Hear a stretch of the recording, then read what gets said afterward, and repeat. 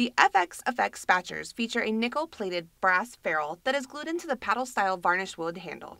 Two finishing nails secure the ferrule in place for years of carefree use.